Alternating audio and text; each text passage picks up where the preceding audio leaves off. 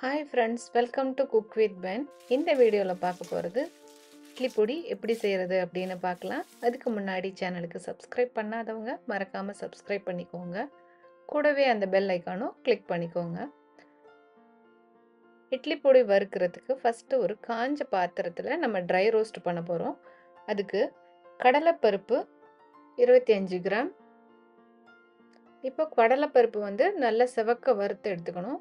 நல்லா சிவக்க வறுத்து எடுத்தால் தான் இட்லி பொடி நல்லாயிருக்கும். ஸ்டவ் வந்து மீடியம் ஃப்ளேமில் வச்சுட்டு நல்லா ட்ரை ரோஸ்ட் பண்ணிக்கோங்க. அடுத்து கருப்பு உளுந்து இருபத்தஞ்சு கிராம். இதுவுமே லைட்டாக வறுத்து எடுத்துக்கணும். இதை வந்து ரொம்ப செவக்க வறுக்கணும் அப்படின்னு இல்லை லைட்டாக வறுத்தா போதும். அடுத்து சிறுபருப்பு இருபத்தஞ்சு கிராம். இதை வந்து நல்லா செவக்க வறுத்துக்கணும். அடுத்து நம்ம சமையலுக்கு பயன்படுத்துவோம்ல அந்த புழுங்கல் அரிசி வந்து பன்னெண்டு இல்லாட்டி பதிமூணு கிராம் அளவுக்கு சேர்த்துக்கோங்க. புழுங்கல் அரிசி வந்து நல்ல பொரியரிசியாக பொரிஞ்சு வர்ற வரைக்கும் நல்லா வறுத்துக்கணும். இது எல்லாமே வறுக்கும்போது நம்ம ஸ்டவ் வந்து ஸ்லோ ஃப்ளேமில் வச்சு பண்ணணும். அரிசி நல்லா பொரிஞ்சு வந்துருச்சு. இப்போ இதையுமே இந்த ஓலத்தட்டில் சேர்த்துக்கலாம். அடுத்து வந்து கருப்பு எள்ளு பன்னெண்டு இல்லாட்டி பதிமூணு கிராம். இதுவும் அரிசியும் சம அளவு எடுத்துக்கலாம்.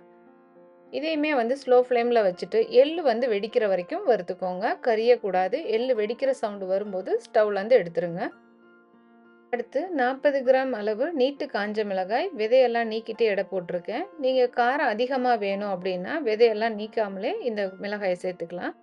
அடுத்து இது கூடவே ஏழுலேருந்து எட்டு கிராம் அளவுக்கு புளியை வந்து விதை இல்லாமல் எடுத்து சின்ன சின்ன பீசஸாக இந்த மிளகாய் கூடவே சேர்த்து வறுத்துக்கணும். இப்படி வறுக்கிறனால மிளகாயில் உள்ள நெடி வந்து அதிகமாக வராது. கூடவே புளியுமே நம்ம சேர்த்து அந்த மிளகாய் கூடவே வறுத்துடலாம்.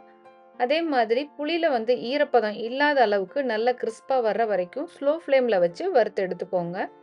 அடுத்து காஞ்ச கருவேப்பிலை பதினஞ்சு கிராம் அளவுக்கு எடுத்து அதையுமே ஸ்லோ ஃப்ளேமில் வச்சுட்டு லைட்டாக வறுத்தா போதும். இலையோட கலர் மாறாத அளவுக்கு பார்த்துக்கோங்க. இப்போ இது எல்லாமே வந்து நல்லா ஆறட்டும். நல்லா ஆறுனதும் நம்ம மிக்சி ஜாரில் சேர்த்துட்டு பொடி பண்ணி எடுத்துக்கலாம். காரம் எந்த அளவுக்கு உங்களுக்கு தேவையோ அந்த அளவுக்கு மிளகாயோட அளவை கொஞ்சம் கூட்டி சேர்த்துக்கலாம். இந்த இட்லி பொடி வந்து காரம் கொஞ்சம் கம்மியாக இருக்கும். இப்போ நம்ம ஃபஸ்ட்டு வறுத்து வச்சோம்ல அந்த இது எல்லாமே நல்லா ஆறிடுச்சு. இப்போ வந்து இது ஆறுனதுக்கு அப்புறமா இதை ஒரு மிக்சர் ஜாரில் சேர்த்துட்டு நம்ம நல்லா பொடி பண்ணி எடுத்துக்கலாம். இதை அரைக்கும் போது பாதி பாதியாக சேர்த்து மிக்சியில் பொடி பண்ணி எடுத்துக்கோங்க.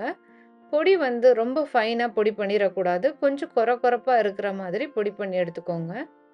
கருவேப்பிலை சேர்த்துருக்கனால இதோட கலர் வந்து நல்லா கொஞ்சம் க்ரீன் கலராக இருக்கும். இந்த இட்லி பொடி மூணுலேருந்து ஆறு மாதம் வரைக்கும் கெட்டு போகாமல் இருக்கும். இதை வந்து ஒரு க்ளீனான நல்ல ட்ரையான கிளாஸ் பாட்டிலில் ஸ்டோர் பண்ணி வச்சுக்கலாம்.